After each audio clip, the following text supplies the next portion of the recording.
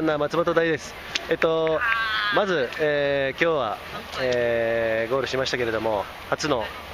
山岳スキーです。はい、率直な感想。いやー、本当、もうすとんでもなくきつかったですね、きついんだけれども、やっぱりそのスカイランニングとは違う楽しさとか、スリルとか、達成感うんっていうのがあったなと思います。スカイランニングと違う楽しさ、具体、あのー例えばどんなところですか？なんですかね、まあ、山なのでうん。すごい似てるんだけども、その絶妙なところの違いって言いますかね、まあ、うん。特に下りはスピード感っていうのはやっぱり半端ないですし、あと、やっぱ雪の上のテテクニック、滑るテクニックっていうのはやっぱりそのランニング的なテクニックとは違うんで、非常にやっぱ、ハラハラドキドキ初体験っていうところで、あの楽しかったですね。えその滑り、今日は8歩ですけれども、えっとはい割とバックカントリーでも第3の滑りはいけてるっていう話をですね レジェンドから聞いてるんですよ、はい。問題ないよっていうふうに聞いてたんですけど、で今日の8歩なんですけれども、まあ、そこそこコブもあったところもあったんですけど、そこら辺どうでした、滑り、自分の。ーいやーあの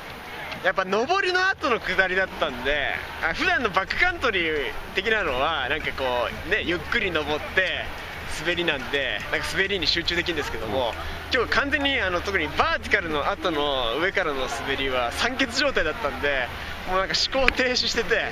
足もガクガクでなんかもう途中止まりながら 下ってましたね。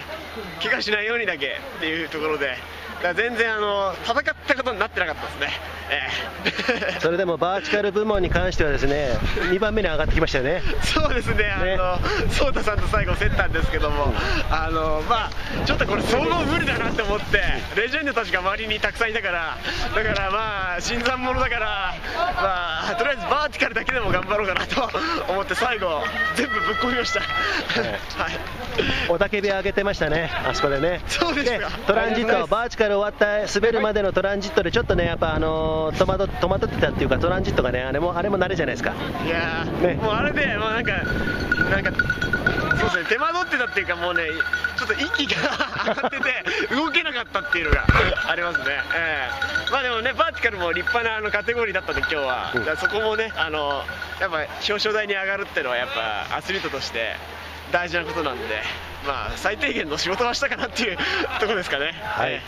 じゃあ、そうですね、あの次のあの来シーズンに向けて、あれ豊富なんですけれども、えはい。また一層慣れて、この山岳スキーレースにはい。慣れて、ですね、はい。えー総合でもですねバーチカル総合で、はい。えー入賞、もちろん狙ってると思うんですけれども、はい。そこら辺はどうですか？そうですね、あのーまあ本当先輩たちに、あのー板の滑り出せ方っていうのをとにかく教えていただいて、えーで、あのーいろいろ爆発を踏んでいきたいなっていうように思います。で、特にあの来年世界選手権っていうのが2月にあのあるようなので、あのーね夏スカイランニングやってる連中が出てる世界っていうのも自分も見てみたいなと思うんで、あのーそこに向けてちょっとまあ来シーズンはモチベーションを高めていきたいなというふうに思います。はい。はい、こんな松本大ちゃんでした。はい、よろしくお願いします。ありがとうございました。まずはスカイランニングの世界選手権頑張ってくださいね。そうですね、まずはそっちでね、はい頑張ります。ありがとうございます。